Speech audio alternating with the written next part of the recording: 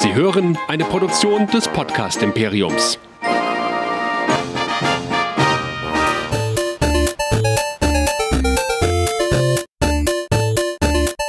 Ich bin Luke Skywalker und ihr hört Nerdizismus, der nerdige Podcast. Viel Spaß!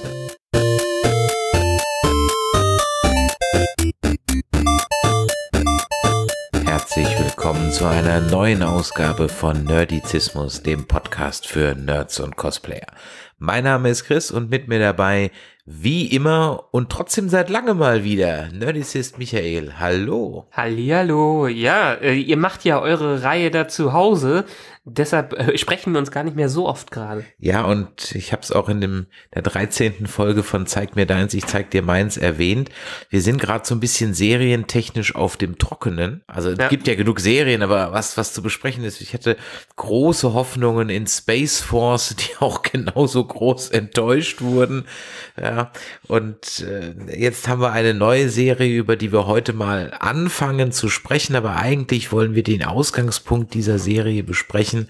Wir wollen heute über Snowpiercer reden, nämlich den Film von 2013 und unsere ersten Eindrücke der ersten Folge der Serie, die jetzt auf Netflix läuft. Aber bevor wir soweit sind, Michael, muss ich dich noch auf was hinweisen. Wir haben nämlich, weil wir ja trotzdem so einen hohen Output haben, etwas völlig vergessen. Ach, was haben wir vergessen? Wir haben völlig vergessen, alle miteinander die 100. Folge Nerdizismus auch nur irgendwie zu feiern. Ah, stimmt. Also die 100. Folge der Hauptreihe. Ich meine, wir haben ja schon über, glaube ich, über 200 Folgen insgesamt, aber wir zählen ja nicht alle Folgen, die wir hier machen, zur Hauptreihe dazu. Wir haben sogar schon über 250 insgesamt, aber in der Hauptreihe Nerdizismus ist das jetzt heute die 101. Und ich muss sagen, ich habe es auch völlig vergessen, bis ich für die ähm, 13. Folge Zeig mir deins, ich zeig dir meins halt eben den Episodentitel eingetragen habe und dann festgestellt habe, huch, das ist ja jetzt schon Nerdizismus Folge 100, ja. Also von daher äh, an dich mal herzlichen Glückwunsch. Ja, dir, dir, dir auch, dir ja, auch. Dass du es äh, Also- fünf, fünf Jahre schon mit mir ausgehalten hast. Ja- ist ja fast Ende des Jahres sind sechs Jahre, oder? Ja, wir hatten ja mit der Live-Show unser Fünfjähriges gefeiert und trotzdem kommen immer wieder Leute noch dazu. Ich habe jetzt auch gerade festgestellt, man kann, wenn ihr uns also über Radio beziehungsweise Podcast Addict hört, da könnt ihr uns zum Beispiel auch Bewertungen hinterlassen. Das ist ganz was Neues. Also nicht nur bei iTunes kann man uns jetzt bewerten, sondern auch bei Podcast Addict. Wenn ihr also diese App benutzt, dann schaut doch mal rein, da könnt ihr uns auf jeden Fall bewerten. Und für alle, die die neu herkommen und jetzt vielleicht über Snowpiercer auf uns gestoßen sind, Michael, was könnten die denn noch alles von uns hören? Ja, seit fast sechs Jahren, sagen wir mal seit fünfeinhalb Jahren, kann man einfach auf nerdizismus.de gehen und da findet man im Prinzip alles, was man so von uns hören will. Unsere ganzen Filmreviews, unsere ganzen Serienreviews. Wir haben, glaube ich, insgesamt eins, zwei, drei, vier, fünf, sechs, sieben, acht Hauptreihen mittlerweile, über die wir sprechen die in verschiedenen Abständen mal gemacht werden und dann wieder nicht. Aber wer uns sonst noch schreiben will, wer uns sehen will, kann das tun auf unseren diversen Social Media Kanälen. Und zwar Facebook, Twitter, Instagram, YouTube, wo ihr oft live streamt, wir manchmal zusammen. Und wer uns schreiben möchte, wie immer an info.nerdizismus.de oder an unsere WhatsApp-Nummer, und zwar die 01525 964 7709. Und da könnt ihr uns nämlich immer Sprachnachrichten und alles mögliche andere hinterlassen. Wir nehmen auch gerne Bilder entgegen, wenn man diese auch vielleicht nicht so gut hier zeigen kann. Echt, wir nehmen auch Bilder entgegen. Das, das wusste ich gar nicht. Aber wie sich Das Handy liegt bei dir, das habe ich jetzt mal für dich gesagt. Ja, schickt mir eure Bilder. Ich gucke sie mir gerne an oder vielleicht auch nicht. Das weiß ich noch nicht so genau. Wir haben auch eine Telegram-Gruppe, in der nichts los ist. Ich habe einfach nur mal eine Telegram-Gruppe aufgemacht, weil man halt auch eine Telegram-Gruppe aufmachen kann. Und ihr könnt auch uns, und dann können wir diesen immer länger werdenden Part auch abschließen. Wir sind alle 14 Tage auch auf dem Twitch-Kanal der German Comic Con unterwegs. Und in der Regel machen wir da ein Nerd-Quiz. Wer also mit uns quizzen will, der schaut einfach alle 14 Tage auf twitch.tv slash germancomiccon. Ihr könnt auch twitch.tv slash nerdizismus nehmen. Wir raiden das meistens dann durch und da spielen wir also Nerdquiz. Und Nerdquiz spielen wir auch am 21.06., also kommenden Sonntag ab 13 Uhr, nämlich bei der zweiten Ausgabe der German Comic Con Home Edition. Und äh, da werden wir sowohl ein Nerdquiz machen, wo es auch Preise gibt, als auch wieder Interviews mit ein paar bekannten Stars und Schauspielern. Ganz ehrlich, wir wissen selber noch nicht genau, wer kommt. Die sind gerade in Verhandlungen. Beim letzten Mal hatten wir Michael Cutlitz da, den Abraham aus The Walking Dead. Wir hatten Sam Jones da, den Flash Gordon der 80er. Wir hatten äh, Chelsea Reese da aus The 100 und so weiter und so weiter. Also wirklich ähm, äh, tolle, unterhaltsame Gäste waren das auch.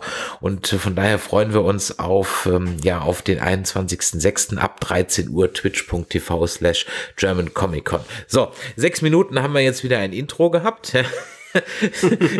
ähm, und haben noch gar nicht über das eigentliche Thema des Tages geredet. Wir haben es ja am Anfang gesagt, es geht heute um Snowpiercer und zwar hauptsächlich um den Film von 2013 der damals durchaus für positives Aufsehen oder erregt hat, der ähm, in der Regie ist von Bong Joon-ho, einem Südkoreaner, der vor allem jetzt Aufsehen erregt hat und einem breiteren Publikum über Snowpiercer hinausbekommen ist, weil er nämlich maßgeblich die Geschichte und ähm, das Drehbuch zu Parasite geschrieben hat, ein Film, der er bei den Oscars äh, dies Jahr absolut abgeräumt hat.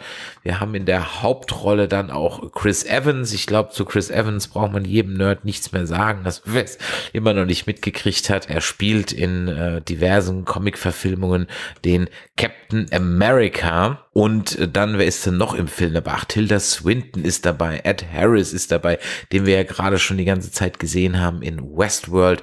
Wir haben John Hurt dabei. John Hurt spielt ja grundsätzlich eigentlich überall mit, was irgendwie Bedeutung hat. Ja, ähm, von äh, the, the Doctor Who über 1984, Harry Potter und so weiter. Also John Hurt ist ja eigentlich... Weit auch mittlerweile leider nicht mehr unter ja, uns. Ja, ja.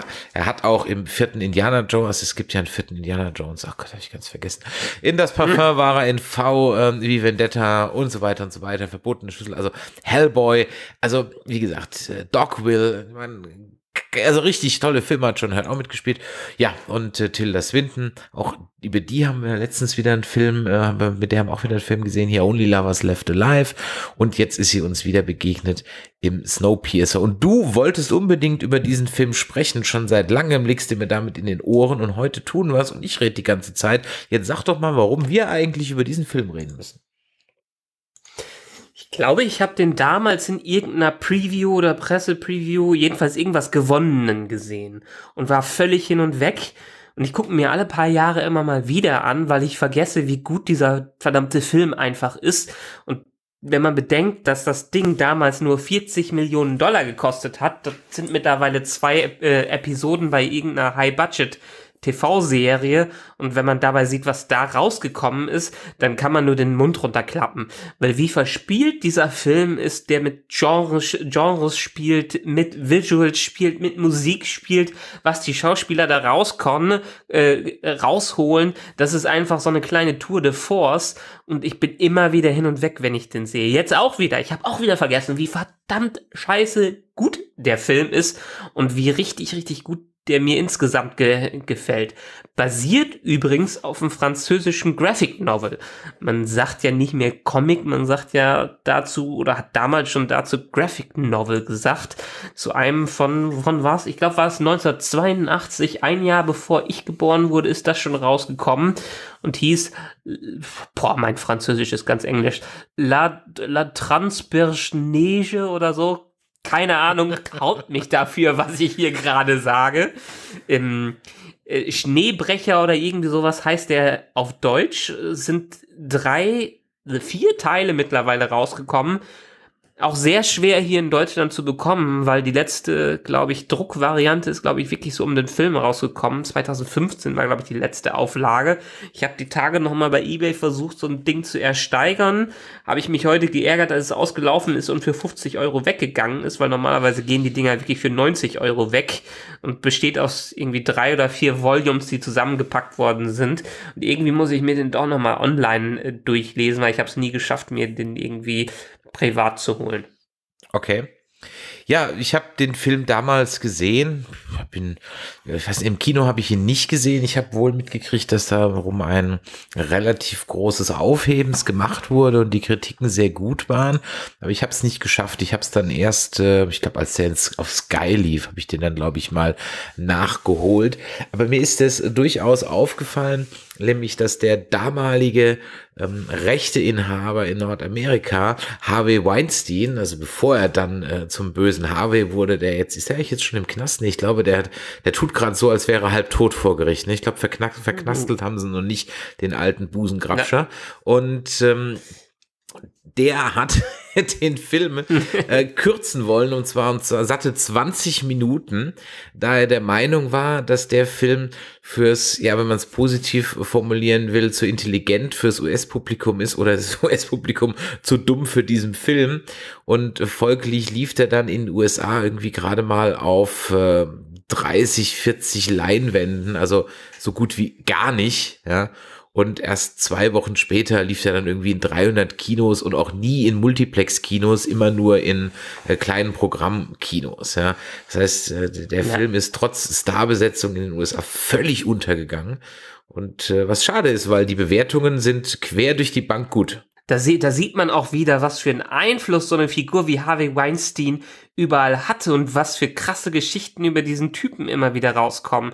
Ich meine, er hat ja wirklich quasi Hollywood geleitet von hinten oder eine Sparte in Hollywood geleitet und egal was er gesagt hat, er konnte allen damit drohen, dass wenn sein Wort rauskommt, dass der Schauspieler nichts mehr bekommt, äh, dass der Regisseur nichts aufführen kann und Snowpiercer ist einer dieser Filme. Ich habe das damals äh, mitbekommen, als der rausgekommen ist, gab es wirklich regelmäßig irgendwelche News darüber, wie versucht wurde, den in den USA äh, runterzubringen. Und dadurch, dass der äh, Regisseur sich nicht darauf einlassen wollte, den irgendwie daran rumfurschteln zu lassen, hat Harvey Weinstein wirklich Rache geübt und den versucht im Box Office untergehen zu lassen, was einigermaßen funktioniert hat, aber trotzdem hat er quasi seine Kult-Followerschaft am Ende bekommen und letztendlich ja auch die Serie, die hier jetzt dabei rausgekommen ist. Der Film hat dann mehr oder weniger so 86 Millionen Dollar ungefähr wieder eingespielt. Das war also eigentlich so eine Nullnummer und ich finde es halt echt krass, dass man so wie der Weinstein halt sein eigenes Geld ja im Grunde genommen verbrennt. Also bezahlst ja für solche Filmrechte, um dann Geld mit so einem Film zu verdienen. Und wenn du dann halt deinen eigenen Film also für den du ja bezahlt hast, ins Abseits schießt, da muss einem aber wirklich der äh, Bong Bong Ho oder wie er heißt, ganz schön auf den Sack gegangen sein. Ja? Naja, ich glaube, das ist eher das Machtbedürfnis von diesem Weinstein gewesen. Weil es ist, diese Geschichten hat man noch von mehreren Filmen gehört. Ich glaube, von Studio Ghibli war es mindestens ein Film. Ich glaube, Prinzessin Mononoke wurde damals auch von Weinstein oder irgendein anderer Film von denen wurde äh, über Weinstein vertrieben und die mussten sich wirklich durchbrechen zu, bei dem, dass der ungeschnitten und mit den entsprechenden Übersetzungen reinkam, weil da hat man ja noch das Problem der 1 zu 1 Übersetzung, was aus dem Japanischen ja gar nicht so gut funktioniert, weil viel einfach Bedeutung bei dem Ganzen verloren geht. Und ich meine, ich habe letztens einen Artikel gelesen, dass Weinstein sich bei ganz vielen Sachen bei dieser Übersetzung dagegen gesperrt hat, weil er gesagt hat, das würden amerikanische, amerikanische Zuschauer nicht verstehen, diesen Subtext. Am Ende hat er nicht gewonnen, aber das war wohl auch ein ziemlicher Kampf gegen den. Ja, ist echt krass. Aber jetzt haben wir schon fast 10 Minuten, 15 Minuten äh, über den Film geredet und noch nicht mal, worum es geht. Ich meine, es gibt ja auch Leute, die haben den Film noch nicht gesehen. Ja. Also worum geht's denn? Worum geht's? Im Prinzip ist es so eine kleine Dystopie. Wir schreiben das Jahr, puh, Moment, das habe ich mir jetzt nicht aufgeschrieben, ist ja auch ganz egal. Seit 17 Jahren ist die 2031. Erde 2031, ja genau. Seit 17 Jahren ist die Erde eingefroren. Also am Anfang sehen wir so ein bisschen, wie das dazu gekommen ist. Der sogenannte CW 7 wurde in die Atmosphäre gesprüht, um die ähm, globale Erwärmung aufzuhalten. Und dadurch hat es einen Nebeneffekt gehabt, den man jetzt auch kritisch sehen könnte, wenn man den Subtext davon sieht, dass äh, wenn man die globale Erwärmung aufhalten, dass das genau ins Gegenteil äh, rüberschlägt. Egal, dadurch ist die Erde eingefroren und die einzigen Menschen, die überlebt haben, haben auf diesem äh, Zug dem Snowpiercer überlebt, den ein exzentrischer Milliardär gebaut hat, passend im richtigen Moment mit einer Strecke, die einmal komplett um die Erde geht und äh, der das ganze Jahr um die Erde fährt und durch Eis und Schnee und die letzten Menschen leben halt auf diesem ganz, ganz, ganz langen Zug, der auch eingeteilt ist in Abteile, in die ersten, zweiten, dritten. Und dementsprechend das ein ganzes Kastensystem von Leuten ist, die in diesem Zug überleben. Und wir fangen in dem Zug an in der sogenannten Tail Section, in der Endsektion, die ganz am Ende ist, wo sich ein paar Leute draufgeschlichen haben und die quasi wie auf der Titanic in der Bretterklasse leben und als niederste Kaste in diesem Film versuchen zu überleben und jetzt eine Revolte starten. Eine von vielen Revolten, die vorher schon stattgefunden haben und sie möchten den Zug übernehmen und nicht mehr unter diesen unwürdigen ja, Lebensbedingungen zu überleben. Und wir verfolgen quasi diese kleine Gruppe von Leuten, ähm, wie sie versuchen, den Zug zu stürmen und zum Anfang von diesem Zug zu kommen. Und zwar zu dem, wie heißt da, ähm, Wilford. Wilford, zu dem mysteriösen Wilford, dem Milliardär, der diesen Zug gebaut hat. Und der Hauptcharakter von Chris Evans gespielt, Curtis Everett, ist seit Anfang an dabei und möchte halt das verhindern, dass das weiter so geht. Er hat auch eine kleine eigene Hintergrundgeschichte, die man dann im Laufe des Films entdeckt und in, in diesem ganzen Film, in dem wir durch die Abteile gehen, kriegen wir in jedem Teil quasi ein anderes Genre und einen anderen Film präsentiert mit einem ganz visuellen, komplett unterschiedlichen Sprache. Und trotzdem ist es ein Gesamtkonstrukt, was uns da gezeigt wird, was einen ziemlich vom Hocker hauen kann. Ja, im Comic und auch jetzt in der Serie hat der Film 1001 Waggon. Mhm. Im Film sind es ein bisschen weniger. Da sind es irgendwie 170 Waggons oder so. Ja. Was dann mit der Anzahl der Personen und so weiter nicht hinhaut, da ist das, also 1001 Waggons sind natürlich auch unrealistisch lang, ja. Aber ähm, da macht es wenigstens Sinn, dass also in diesem Zug herrscht, so hat es der Wilford gewollt, ein perfektes Gleichgewicht. Außer die Tails, diese, ja, ähm, Schwarz, Schwarzfahrer, äh, schwarze Passagiere, äh, blinde Passagiere, so nennt man das ja, Schwarzfahrer, blinde Passagiere sind es in dem Fall, die zwar dann entdeckt wurden, aber halt eben von, ja, so einer Art Polizei, ähm, kleines äh, Polizei-Militäreinheit halt im Tail, also im Zugende zusammengefercht werden und ja, man kann schon fast sagen, in Konzentrationslagerartigen Elend da rumvegetieren. Ja. Und sie haben auch nichts zu essen. Also am Anfang erfährt man, dass die ersten zwei, drei Jahre, weil wie gesagt, es war kein Essen am Zug vorgesehen für diese Tail-Leute. Und deswegen ist da unten kräftig der Kannibalismus ausgebrochen. Und man kann halt nicht von einem Waggon zum anderen gehen, weil halt zwischendurch immer Shots sind, die halt abgeschlossen sind. Und da das halt ein Zug ist, ist das auch sehr schmal, also das kann man halt mit wenigen Soldaten und mit wenigen Waffen in Schach halten. Und irgendwann haben die dann äh, angefangen, ich sag mal, so eine Art Soylent Green zu essen gekriegt. Aber Soylent Green is not made of people in diesem Fall. genau. Das Schöne an dem Ganzen ist dann auch die, äh, dieser Story, wie organisch sie sich entwickelt. Wir kriegen immer so kleine Brotkrumen an Story-Infos rüber äh, geschmissen. Wir kriegen quasi keinen richtigen Prolog. Wir haben so ein bisschen eine Anfangssequenz, die in äh, Ausschnitten von Berichterstattungen zeigt, wie es jetzt dazu gekommen ist, dass die Erde im ständigen Schnee versunken ist und letztendlich durch Chemtrails, durch Chemtrails, Chemtrails genau. waren das, Chemtrails. Äh, und, und am Ende dieses Intros landen wir in dem Zug ohne genau zu wissen, was dieser Zug macht oder was dieser Zug ist. Und diese Brotkrumen, was jetzt überhaupt da stattfindet, die kriegen wir immer so zugeworfen und organisch werden die in diese Story eingewoben. Aus den Charakteren heraus. Und was das Schönste ja immer an sowas ist, ähm, es ist nicht gezwungen, dass wir die ganze Zeit Exposition bekommen. Nee, diese kleinen Expositionsschnipsel, die wir haben, die werden immer an den richtigen Schn äh, Stellen rausgehauen. Immer wenn die, wenn die äh, wenn die Akteure über irgendwas reflektieren oder in sich gehen müssen oder sagen, boah, wir sind ja seit 17 Jahren im Zug und können es nicht mehr aushalten. Oder wenn dann doch dieses dunkle Geheimnis vom Curtis herauskommt, was mit ihm am Anfang passiert ist, ist das alles meiner Meinung nach zu einer passenden Zeit an einem passenden Ort und Stelle rausgekommen und der Zuschauer muss sich dann sein eigenes Bild zusammenflechten. Also wir haben keinen Infodump, den es am Anfang gibt, sondern man muss schon eine gewisse Intelligenzleistung mitbringen, dass man auch behält, was am Anfang des Films gesagt wurde und zwischendurch. Wobei man jetzt auch sagen muss, die ist jetzt auch nicht hoch. Also die Nein. ist natürlich jetzt, man muss vielleicht ein bisschen mehr aufpassen als bei, äh, was weiß ich, stirb langsam fünf oder so, ja. Aber aber jetzt auch nicht so, dass du sagst, das ist jetzt irgendwie so drei Sekunden nicht hingeguckt, so hoch, was ist da passiert? Ja. Der Film ist ein tolles Beispiel dafür, dass äh, das, was ich ja immer predige, Show, don't tell, einfach wunderbar funktioniert. Ja. Es werden Dinge angeteasert, die dann später aber halt auch gezeigt werden. Ja. Ja.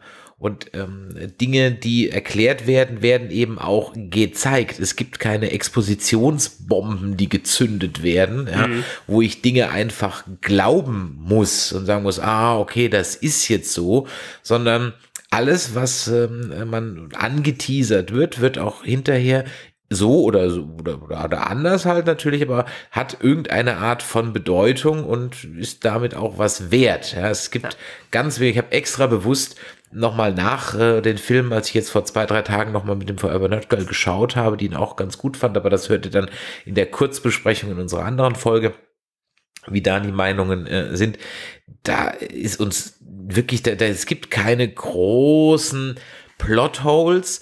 Sicherlich, wenn du das mal ganz äh, durchdacht, die Grundprämisse muss man natürlich kaufen, dass es so eine rollende Arche gibt. So, Ja. die, die, da musst du natürlich grundsätzlich erstmal mit äh, d'accord gehen, weil sonst, äh, klar, brauchst du den Rest des äh, Films dann natürlich nicht ernst nehmen. Aber sagen wir mal Das so, ist natürlich, wenn, äh, das, das hast du ja bei anderen Serien und Filmen auch. Ja, sicher, Im, das im ist ja Grundsatz, Parabel, sowas wie Star Trek Ding. funktioniert ja auch nicht wirklich, wenn man es übers äh, Warp und Beamen und die Warp-Geschwindigkeit sprechen würde, würde es so in der Art mittlerweile nicht mehr funktionieren.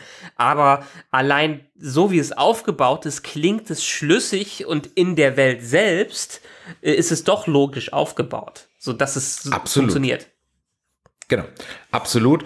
Und alle Dinge, so wie, wie du gesagt hast, so wie die Welt funktioniert und das, was einem gezeigt und erklärt wird, macht dann in diesem Moment auch äh, Sinn. Die Serie scheint da das ein oder andere, sag ich mal, etwas noch nicht so hell beleuchtete ähm, Eckchen des Zuges dann etwas besser auszuleuchten, aber da kommen wir gleich zu. Na. Ja, ähm, der Film ist natürlich äh, eine Parabel und zwar eine, eine Sondergleichen. Also ich glaube, wenn man ein linksintellektueller Mensch ist, dann ist das äh, der Film sozusagen der, ähm, ja, wie soll ich sagen, der ideologische Orgasmus, ja. Es ist ja, ja, äh, also als, als Linker bist du ja, äh, ist das ja dein Traumfilm. Also die Arbeiterklassen erheben sich ja über ähm, äh, die reaktionären, äh, bürgerlichen und natürlich über das Kapital, ja, am Ende. Und äh, das Problem ist, es endet halt dann leider nicht, das endet eigentlich so, wie der Kapital, wie der Kommunismus halt leider auch geendet ist. Lassen wir es mal da. Wir wollen jetzt vielleicht dem einen oder anderen jetzt das Ende nicht verraten und nicht Äh, naja, also sagen- vielleicht kommen wir sagen wir später mal noch, so, vielleicht, wenn die vielleicht Leute- kommen wir später noch in eine Spoiler-Sektion, dann sollten wir es aber extra noch kennzeichnen. Ich glaube, wenn die Leute sich das äh, hier anhören und äh, hören möchten, wie sie äh, vielleicht hören möchten, wie die Serie ist, kann ich mir vorstellen, dass viele schon den Film geschaut haben. Ich denke schon, dass wir gleich spoilern können. Beware of Spoilers jetzt dann, ne? Genau, genau. Äh, Du hast vollkommen recht, aber in einem Punkt nicht. Es ist ein missglücktes Planspiel. Also ich meine, der Kommunismus, den wir bisher erlebt haben, er war ja auch so ein Planspiel, der seine kaputten Ecken hatten. Also einen wahren Kommunismus. Das war ein ziemlich realistisches Planspiel, also von Spiel Ja. würde ich da nicht mehr reden. Ne? Nein, aber sagen wir mal so, wenn es Kommunismus in der eigentlichen äh, Form sein sollte, wie er mal angedacht äh, wurde, dann gab es diesen Kommunismus noch an keiner Art und in keiner Art und Weise auf dieser Welt irgendwie, die, Okay, ja. die funktioniert hat.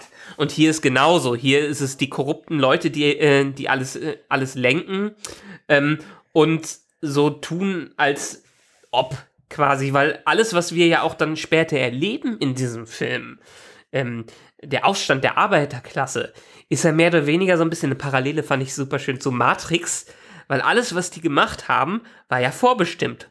Und, äh, und angeleitet quasi von Wil äh, Wilford und äh, seinem Kumpel hinten im Zug. Die wollten ja, dass es so, äh, so etwas passiert, nur am Ende, wie es auch im Kommunismus war, haben die Pläne nicht gefruchtet und irgendwie ein Steinchen hat es doch das Falsche ins Rollen äh, ge äh, gebracht.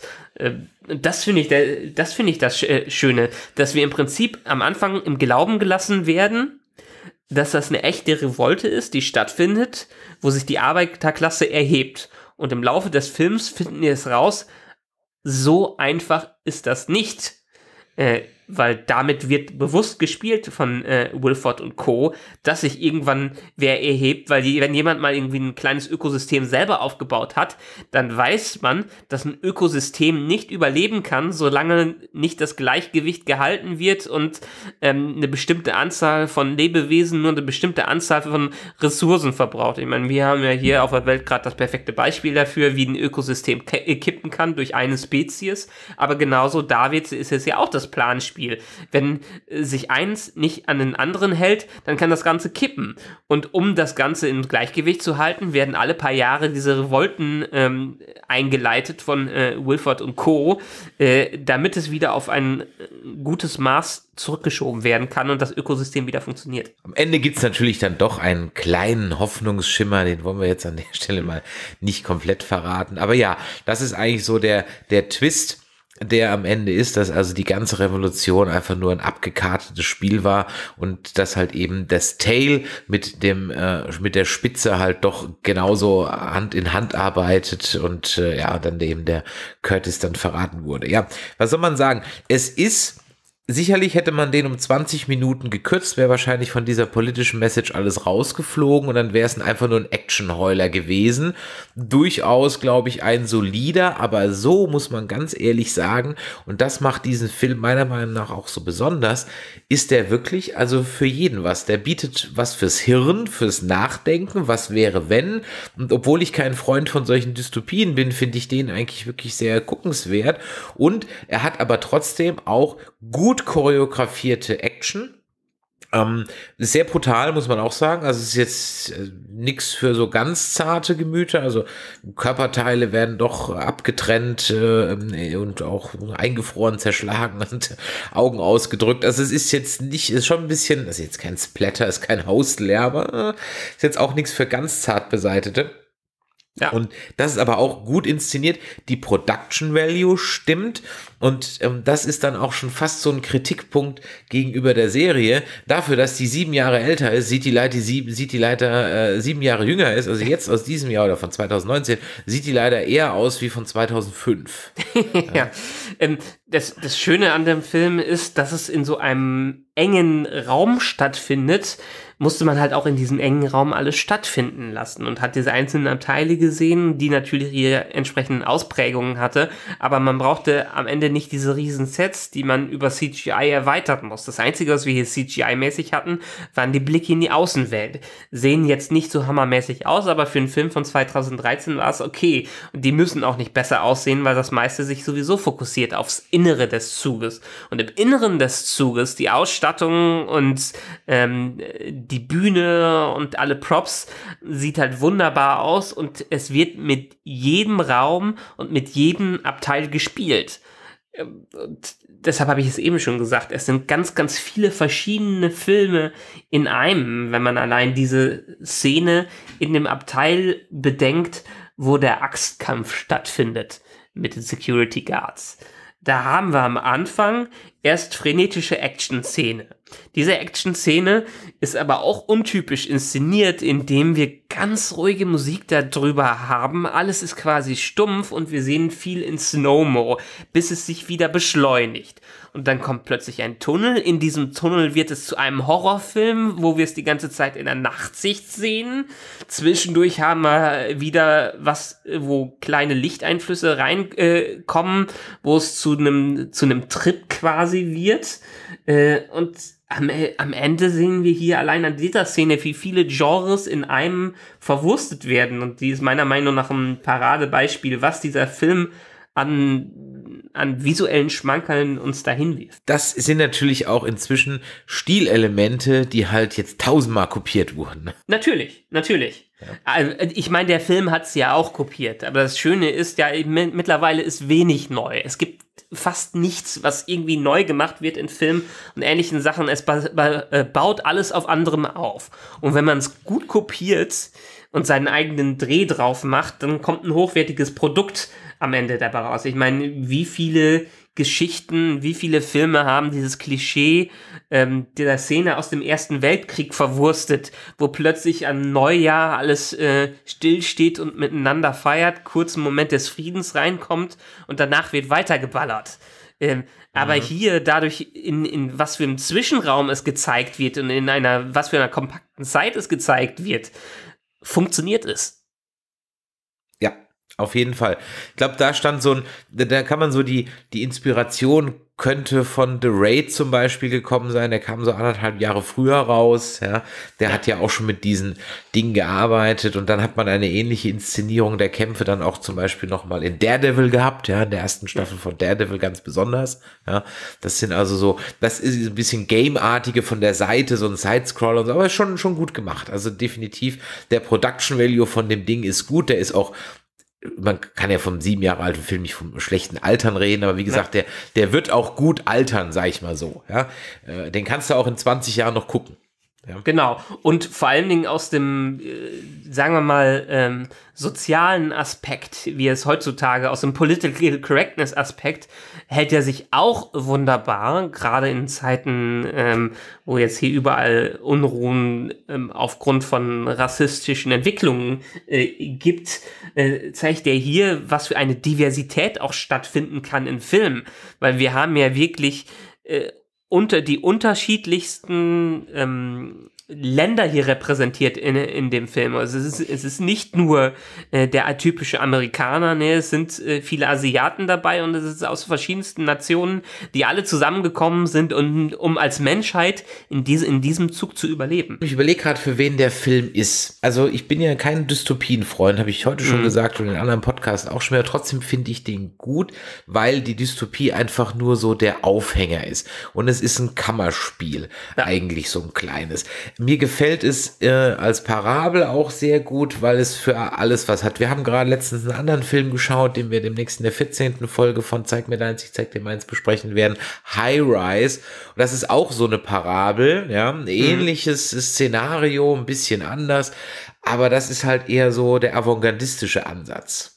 Ja, das ist, da könnte ich verstehen, wenn man da sagt, das ist dem Durchschnittspublikum zu hoch, ja, ähm, weil das halt, ja, ich sag mal fast schon so Fellini-mäßig ist, so das große Fressen und so, also fast schon Avantgarde, surreal ähm, und so weiter. Und das, da, da, da, guck, da guckst du teilweise hin, denkst du so, okay, ja, ja, das ist sowohl brutal als auch äh, extrem pornografisch und, und, und so weiter, also da, wie gesagt, in einem anderen Podcast mehr dazu, ähm, das ist was, das ist schon Arthouse-Kino. Das ist kein Arthouse-Kino, sondern ich finde, das ist ein guter Actionfilm mit einer Message. Und das ist eigentlich was, weshalb es eigentlich wirklich so schade ist, dass der Film jetzt nicht so, der ähm, nicht so abgeräumt hat, was äh, die äh, das, äh, Einspielergebnisse angeht, weil das wäre halt ein schönes Beispiel gewesen, wie man auch mal Action fürs Auge und fürs Hirn machen kann und halt nicht nur fürs Auge, also nicht nur No-Brainer. Und deswegen, ja, mehr davon. Ich hoffe mal, dass die Serie vielleicht da was schafft, aber ich bin mir da nicht so ganz sicher. Ja, das glaube ich ähm, auch. Das, ich weiß es nicht. Wir haben, ich habe die erste Folge gesehen. Wir können jetzt noch mal sofort über die Serie äh, reden, die ihre eigenen mh, Ansätze hier in diesem Thema findet. Äh, aber ja, wie du es schon gesagt hast, es werden, es werden ja nicht nur äh, ein oder zwei Themen hier verwurstet. Es wird, ich finde es ja immer wieder interessant. Das wurde noch gar nicht groß angesprochen. Das interessiert mich für die Serie und den Film, Film ja auch. Ähm, dass ob da genug Leute in dem Zug sind, um quasi wieder eine funktioni funktionierende Zivilisation zur Repopulation der Erde aufzubauen. Hm, ich glaube, ich habe es mal gelesen, dass man mindestens ein paar hundert Leute braucht, damit der Genpool nicht komplett äh, daneben, daneben geht. Und ich glaube, auf diesem Zug waren mindestens ein paar tausend, oder? Oh, ich glaube, die Zahl wird gesagt, aber da bin ich nämlich drüber gestolpert. Ich glaube, im Film werden ich weiß nicht, 2000 Leute, ich weiß nicht, irgendeine Zahl wird, glaube ich, gesagt. Mhm. Und dann wird irgendwann mal gesagt, es sind 110 Waggons. Und dann denke ich so, ah, das äh, passt irgendwie nicht so ganz, vor allem, ja. weil in vielen Waggons ja gar nichts drin ist. Und ähm, äh, da macht es in, dem, in der Serie jetzt ein bisschen mehr Sinn mit den 1001 Waggons. Trotzdem sind die Waggons schon auch Fantasiegebilde. Also es gibt ja, keine Schlafwagenabteil oder sonst irgendwas, ja. Also es ist einfach, jeder Waggon hat einen Zweck und ähm, es darf nicht großartig drüber nachdenken, dass man eigentlich jedes Mal durch den Kuhstall laufen müsste, wenn man äh, hinten, was weiß ich, mal eine Flasche Wein rausholen will oder so irgendwas. Ja. ähm, ist dir aufge aufgefallen, wer war noch auch dabei? Ich weiß jetzt gar nicht mehr, wie sie heißt, die Schauspielerin. Astrid äh, von der Serie, die wir nicht benennen wollen, war dabei. Ähm, du meinst Agnes. Agnes, genau. Entschuldigung, Agnes. Die, ja. immer, die immer noch wegen Mordes gesucht wird, ja. ja, genau. Äh, die hier ja. spielt sie eine Kindergärtnerin, die, die auch mit Knarre umgehen kann. Ja, es ist nur ihre Tarnidentität, ich sag dir das. ja. Und äh, Agnes, das, das ist wahrscheinlich so, die Lehrerin ist ähm, dann wahrscheinlich, ist Agnes, ja. Und Agnes ist in der Serie The Shall Not Be Named, ja, wahrscheinlich auch nur ein ähm, äh, Android ja, von der Lehrerin. ja, ja so nämlich im gleichen Universum. Äh, ja, also wie gesagt, der Film kriegt äh, von mir so eine absolute Cook-Empfehlung. Wer den jetzt noch nicht geguckt hat, ähm, dann habt ihr echt was verpasst. Ihr könnt den auf Netflix Netflix schauen. Ne? Mhm. Netflix ist der Film, genau. Auf Netflix ist er dabei. Ich glaube, man kann ihn bei Amazon auch leihen. Der macht sich aber auch für einen Fünfer gut in jeder Blu-ray-Sammlung. Also der äh, kann man sich angucken und auch behalten. Der wird da nicht schlecht. Ja, und weil der Film halt so gut war und gute Kritiken gekriegt hat, hat sich dann TNT äh, gedacht, da machen wir doch mal eine Serie dazu. So. Und hat dann 2018 äh, die erste Staffel veröffentlicht, die dann im September rauskam, ähm, nee, beziehungsweise um ein Jahr verschoben wurde auf Juni 2019 und dann wird es nochmal verschoben, nämlich jetzt auf den 17. Mai 2020 und bei uns ist es dann auch zeitnah gestartet, bei Netflix auch wieder am 25. Mai. Jede Woche kommt eine Folge raus. Ich weiß gerade nicht, wie viele Folgen es sind. Es sind, glaube ich, ähm, acht Folgen angesetzt für die erste, zehn Folgen sind angesetzt für die erste Staffel. Und auch hier haben wir durchaus bekannte Schauspieler. Ähm, es spielt also Jennifer Connelly mit, es spielt äh, David Dix mit, ähm, äh, es spielt mit hier Mickey Sumner, die hat man auch öfters mal gesehen, Alison Bright, die kennt man aus The Americans zum Beispiel.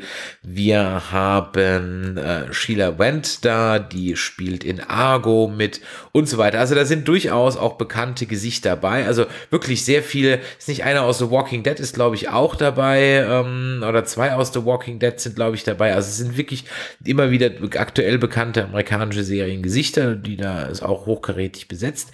Und die Serie spielt sieben Jahre vor den Ereignissen des Films. Und da habe ich ja dann schon ein bisschen gezuckt. Vor allem war ich ein bisschen überrascht, weil wenn man sich den Trailer zur Serie anguckt, Weißt du, ob du das gemacht hast? Hast du den Trailer zur Serie angeguckt? Ich glaube schon. Ich meine, ich habe ihn vor ein paar Monaten mal gesehen. Okay, vielleicht ist es mir auch nur so extrem aufgefallen, gefallen, weil ich den äh, Trailer zur Serie einfach direkt im Anschluss nach dem Film geguckt habe. Mhm. Und wenn du dann den Trailer guckst, denkst du dir so, äh, das ist ja jetzt einfach nur der Film auf zehn Folgen gestreckt. Ist er aber nicht. Also der Trailer ist bewusst so geschnitten, dass du glaubst, das ist eigentlich nochmal ein Rehash vom Film. Zum Glück ist es das nicht. Ob das auf Dauer ein Glück bleibt, weiß ich noch nicht, denn die Serie scheint eine ganz andere Richtung zu nehmen. was, was ist bei dieser Serie? Bei, dieser Serie sind verschiedene Sachen, die miteinander äh, reinspielen. Ich glaube, ich habe vom Trailer damals auch erwartet, dass die Serie so ein bisschen in die Richtung vom Film geht, dass wir vielleicht so eine Prequel-Geschichte bekommen und die Jahre dazwischen gefüllt äh, werden. Da bin ich mir mittlerweile nicht mehr sicher. Ähm, denn wo der Film, wo ich eben schon gesagt habe, alles sehr organisch aufbaut, ist zumindestens der Pilot fühlt für sich für mich sehr gezwungen an. Äh, auch wieder die Parallelität zum äh, Film. Im Film hat man einen kleinen Zusammenschnitt von ein paar Audioschnipseln aus Radioberichten oder Fernsehberichten bekommen, damit das Setup des Ganzen zu, äh, äh damit man das Setup des Ganzen äh, versteht, wie es in der Zukunft ist. Der Film fängt mit einer leicht animierten Version des Ganzen äh, an, erklärt aber direkt sehr, sehr viel. Wir haben hier halt den klassischen Exposition Dump, um alles zu verstehen, wo kommt Snowpiercer her, was wird gemacht. Und wir steigen ein in dem Moment, wo die ganzen Leute versuchen, die ganzen blinden Passagiere an Bord des Zugs zu kommen. Und ich dachte, ja geil, vom Anfang an, ist bestimmt ganz spannend, wie es uns erzählt wurde im Film, dass am, am Anfang irgendwie Kannibalismus und ähnliches stattgefunden hat. Vielleicht gehen wir ja jetzt in die dunklen Bereiche der Menschlichkeit rein und gehen in eine Richtung von wie Last of Us 2 jetzt gerade sein, wo sehr düster, sehr psych äh, psychisch aufgeladen und sehr psychologisch äh, tiefgründig, aber nein, danach springen wir plötzlich sieben Jahre weiter und äh, das war's mit dem Prolog und es wird einfach im Rest des Piloten viel erklärt, aber ehrlich gesagt wenig gemacht. Ja, und wir landen dann, so wie kann man verraten, in einer bisher, und ich habe jetzt schon die zweite Folge gesehen, Krimi-Story, nämlich in einem klassischen Whodunit, in einem Mordfall. Ja. Und, äh, ein ehemaliger Detective, äh, Andrew Layton ist sein Name, gespielt von David Dix, der ähm, soll eben diesen Mord aufklären. Er wird dann also nach vorne geholt ähm, aus äh, dem Tail heraus und soll dann eben, weil er wahrscheinlich der einzige Detective ist, zusammen mit einer relativ unerfahrenen, weil nur Polizeischülerin gewesenen ähm, äh, Ermittlerin aus dem reicheren Sektionen, eben gespielt von der Mickey Sumner, ähm, soll er dann den Mord aufklären. Mehr weiß ich auch nicht, weil wie gesagt, ich habe nur zwei Folgen gesehen und wir haben noch zwei, drei Rückblicke und ich glaube, das wird so die, die Erzählweise sein. Die erinnert mich ein bisschen an Handmaid's Tale, mhm. wo man auch immer wieder die Entstehung des Status quo, den man in der, sag ich mal, Echtzeit der oder in der Jetztzeit der Serie sieht, durch Rückblicke dann sieht. Und ich könnte mir vorstellen, so macht man das hier auch. Ich find's aber bei einer Krimi-Geschichte ehrlich gesagt immer nervig, jetzt mal so grundsätzlich, wenn die dauernd durch Rückblenden unterbrochen wird. Also ein Krimi hätte ich gerne vorwärts erzählt und nicht rückwärts. Ja. Aber ja. Man, gut, man kann es ja vielleicht gut machen, man wird sehen. Aber ich war überrascht, dass sie so ein, dass es so ein Krimi-Ansatz wird. Auf der anderen Seite bin ich aber auch gesagt ganz froh drüber, weil jetzt einfach nur den Film über zehn Folgen nacherzählt, das äh, fände ich jetzt extrem langweilig. Dann hätte ich auch, glaube ich, würde ich nicht weiter gucken. Äh, ja, weil ich auch ganz ehrlich sagen muss, die Serie hat mich nicht so megamäßig gehuckt, ne? Ja, äh, ich muss dir da leicht widersprechen. Ich meine, den Film jetzt nachzuerzählen, das wäre ziemlich lahm. Das versuchen ja viele Serien und das muss man jetzt wirklich nicht äh, machen. Äh, das ist schon ganz gut, dass sie hier versucht haben, einen anderen Ansatz zu wählen. Trotzdem, wie ich eben gesagt habe, kann man hier ja die Vorzeit ergründen und menschliche Abgründe ergründen und gucken, wie Menschen in solchen Situationen mit dem klarkommen, äh, in Extremsituationen, wie sie mit Extremsituationen klarkommen.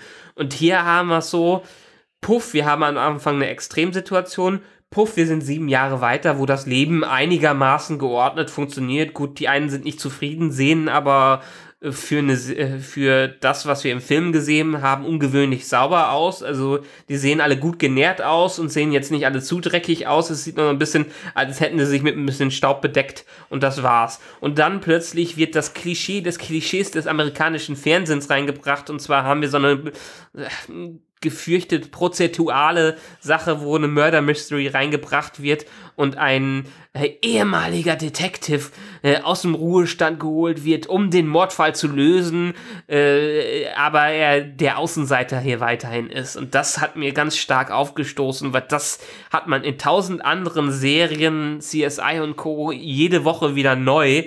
Und das brauche ich ehrlich gesagt in so einer Serie, die wirklich ja, wie ich sag's immer wieder, menschliche Abgründe erkunden soll, die Psyche des Menschen, das Verhalten des Menschen in Extremsituationen, äh, brauche ich nicht den Standard-Detective, der wieder seinen alten Beruf aufnimmt, vor allen Dingen in einer Zeit, wo darüber geredet wird, ähm, okay, konnten die jetzt nicht ahnen, ob die Polizei in Amerika wirklich die Funktion weiter übernehmen soll, die sie bisher übernommen hat. Ja, da bin ich, ich, ich bin da bei dir, das widerspricht sich ja nicht. Also du brauchst ja bei diesem interessanten Grundsetting nicht noch eine halbgare Whodunit-Folge obendrauf oder Story obendrauf setzen, sondern ich hätte auch eigentlich viel lieber gesehen, wie denn ja, der Tale zu dem geworden ist, was wir dann im Film sehen. Und ja, ich bin auch bei dir. Die sind alle sehr wohl genährt. Also schmeckt vielleicht nicht da dieses Soylent Green, aber macht auf jeden Fall, es setzt gut an, ja. Und ja. das ist ja so ein bisschen bei The Walking Dead haben wir ja auch das Problem, wo ich mir denke, so die Dicken bleiben auch immer dick, ne? Also einzig Eugene hat ein bisschen abgenommen, aber Luke ist halt immer noch ein Moppel und, und, und, und, und, und ähm, Jerry halt auch, ja. Ja. Und, und hm, dafür, dass sie den ganzen Tag laufen und äh, Walker killen und äh, Schokoriegel schon lange nicht mehr produziert werden und so. Ja. ich mir so, okay. Und wir schon zwölf Jahre Zombie-Apokalypse haben. Ich mir so, okay, ich glaube, so ein bisschen natürlich, egal. Gut, also ja, das sind so Dinge, da muss man einfach gucken, wie sie es entwickelt. Aber bist du denn gehuckt? So hat es dich gepackt? Ja, mich auch nicht. Okay. Nee, nee, weil, weil ehrlich gesagt, ja, vielleicht bin ich auch zu, mit zu hohen Erwartungen herangegangen. Dass ich den Film einen Tag vorher geguckt habe, war vielleicht nicht die beste Idee, weil der legt halt schon eine Latte Aber das werden vor. ja viele Leute machen. Ja, das werden viele Leute machen. Und ich meine, man kann es ja auch gut, äh, gut machen, Film zu adaptieren oder eine Prequel-Geschichte äh, zu machen. Viele Serien haben gezeigt, wie man es nicht machen kann, aber es gibt auch Serien, äh, die gezeigt haben, wie man es machen kann. Jetzt zuletzt das Beispiel Better Call Saul, was äh, wir ja immer wieder hochloben für eine Prequel-Serie, die funktioniert, weil es einfach aus den Charakteren äh, herausgeschrieben wird und nicht aus der Prämisse, dass wir jetzt irgendwo hinkommen müssen.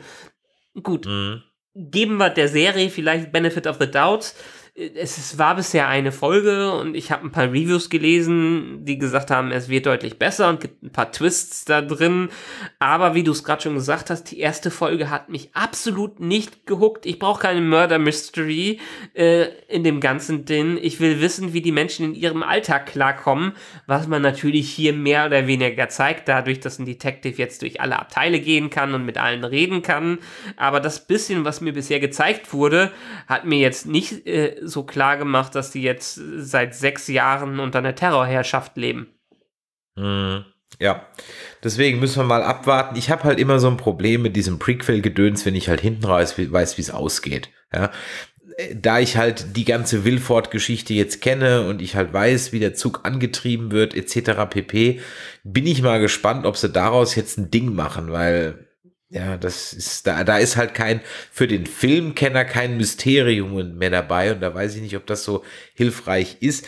Ich meine, es muss, es muss nicht schlimm sein, wenn man weiß, wo Nein, es muss nicht äh, schlimm sein, es kommt geht. drauf an, was man draus macht. Genau, es kommt drauf an, was man draus macht. Ich meine, es ist das Prinzip, Hitchcock hat es immer wieder in seinem Film gemacht, er hat nicht das verborgen, äh, äh dass der, Schauspiel der Zuschauer in Hitchcock-Filmen durfte immer deutlich mehr wissen als der Protagonist in den Hitchcock-Filmen. Und dadurch hat er die Spannungen aufgebaut. Er hat es vom Zuschauer nicht geheim gehalten, sondern er hat ihn mit eingeweiht. Und dadurch hat er äh, die Spannung aufgebaut, was passiert als nächstes und man fiebert mit den Leuten mit. Äh, und das kann durchaus gut sein. Und wie gesagt, bei Breaking Bad oder Better Call Saul ist eine andere Qualität des Schreibens. Bei Better Call Saul wissen wir auch, wo es drauf zugeht. Wissen wir auch, wo Saul Goodman am Ende landet. Und bei Breaking Bad wussten wir auch, dass es quasi äh, Scarface sein sollte für Walter White, weil es immer wieder gesagt worden ist. Aber dementsprechend das Ziel ist ja nicht das Ziel. Der Weg ist das Ziel und diesen Weg zu beschreiten kann das Spannende sein muss aber nicht. Und für mich muss mich eine Serie mittlerweile in der ersten Episode kriegen, damit ich sie weitergucke. Beziehungsweise, wenn ich sie weitergucken soll, kann mir irgendein anderer dann auch Jahre später sagen, guck die unbedingt, die wird viel besser. Aber von mir aus heraus habe ich ehrlich gesagt jetzt gerade nicht mehr so viel Interesse, die weiterzuschauen. Deswegen werden wir es bei dieser Serie auch so halten, dass wir jetzt mal die ganze Staffel uns angucken, auf uns wirken lassen und dann vielleicht noch mal ein kleines Recap zu dieser Folge hier und zur ganzen Staffel nachlegen. Das wird nicht vielleicht nicht ganz so umfangreich sein. Und sollte die Serie dann noch mal so ein Riesending werden, ja, dann könnt ihr sicher sein, dass es ganz ähm, höchstwahrscheinlich auch eine neue Show gibt, die dann irgendwie, was weiß ich, äh, Piercer Nerd oder Nerd Piercer oder so heißt. Sn ja. Snow Nerds. Die Snow Nerds, wo wir dann alle 14 Tage zwei Folgen Snowpiercer besprechen. Bisher glaube ich allerdings nicht, dass es diese Podcast-Show geben wird, aber mal gucken. Vielleicht packt es es uns ja noch, man soll dem ganzen Jahr noch mal ein bisschen äh, Zeit geben. Ja, ja. Ähm, trotzdem schaut euch den Film an, auf jeden Fall. Der schadet auf gar keinen Fall bei der Serie. Man kann ja mal eine Stunde seiner Zeit opfern. Die ist auf jeden Fall nicht ver getan. Äh, Im Gegensatz zu, ich hatte es eingangs erwähnt, äh, zum Space Force, da waren auch die ersten 20 Minuten der, ich habe zwei Folgen geguckt. Grausam, hast du schon geguckt? Nee, aber dadurch, wie viel ich davon gehört habe, will ich es mir auch ehrlich gesagt kaum antun. Es ist wirklich, es ist nicht lustig. Ich habe zweimal ja. geschmunzelt, ja, ich habe dann auf Deutsch mal umgeschaltet, dann wieder auf Englisch, um zu gucken, ob es in irgend, ob es vielleicht Synchro irgendwie was, ob ich das irgendwas nicht mitbekomme oder so, aber nein, es ist einfach nicht lustig. Also alle Gags sind unglaublich gezwungen. Mhm. Ja, alle Pointen sind so die, du, die Pointen siehst du schon meilenweit kommen und dann sind sie gezwungen und das Timing im Schnitt und im, im Acting ist grottenschlecht. Also jede Pointe, hast du das Gefühl, wird einfach einen Ticken zu lang rausgezögert oder dauert zu lang, bis sie kommt oder die Auflösung des Gags ist dann viel zu lang. Also es sitzt einfach nichts. Und dazu kommt so dieses ungute Gefühl bei vielen Gags, dass man halt sagen muss, die aktuelle amerikanische Administration würde das halt tatsächlich machen. ja, das kommt halt auch noch dazu und so dass ich an ja, der aber das Stelle ist ja so ein bisschen, das ist ja so ein bisschen die Prämisse der Serie. Die Serie haben die ja nur geschrieben, nachdem Trump wirklich gesagt hat, dass er die Space Force machen möchte und ähm, da hat die äh, Realität äh, die Fiktion wieder eingeholt. Es könnte durchaus sein, dass die UdS-Streitkräfte ihre Space Force nicht mehr Space Force nennen dürfen, weil die Serie es eher geschafft hat, auf den Namen Space Force ein Trademark draufzusetzen, äh, als es die US-Regierung geschafft hat, ein Trademark auf die Space Force Behörde zu setzen. ja, das wäre natürlich sehr spaßig. So oder so, schaut euch das nicht an. Wenn ihr aber ein Lust auf eine wirklich gute ähm, Serie und Polizsatire hat, dann kann ich an dieser Stelle eine Serie empfehlen, die zwar schon ein bisschen älter ist, die aber wirklich sehr, sehr, sehr lustig ist, nämlich Weep. Ja, ja. und äh, das Ach, kann so alt ist Weep ja jetzt auch nicht mehr. Letztes Jahr hat es ja aufgehört erst. Stimmt, letztes Jahr nach sieben Staffeln hat es aufgehört, die hat 2012 angefangen.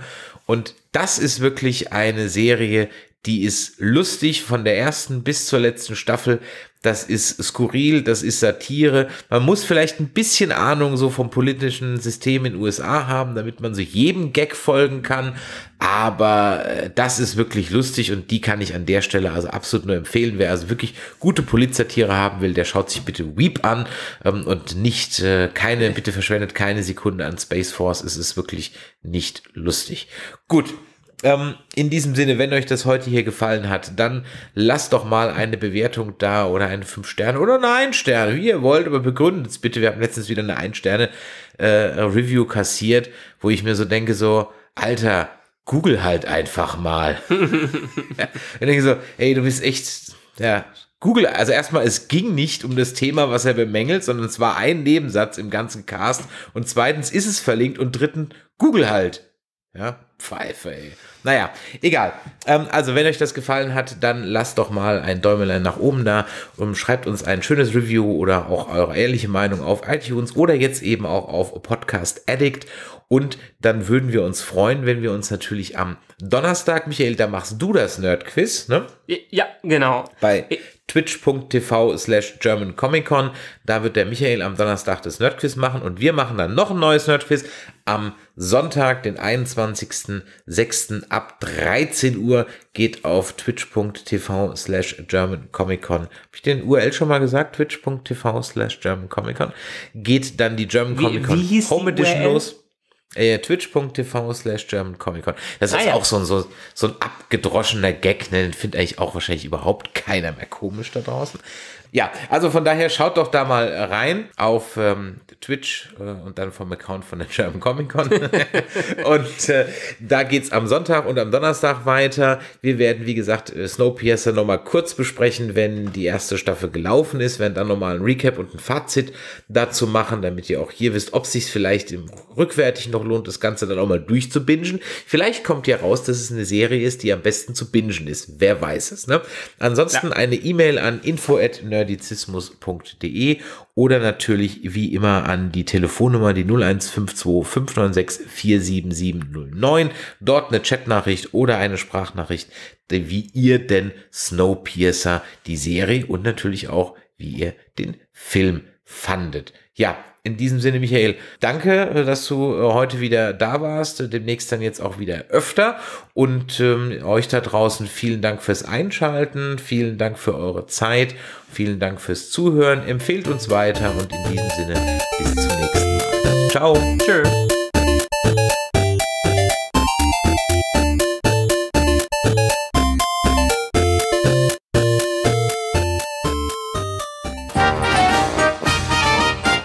Eine Produktion des Podcast Imperiums.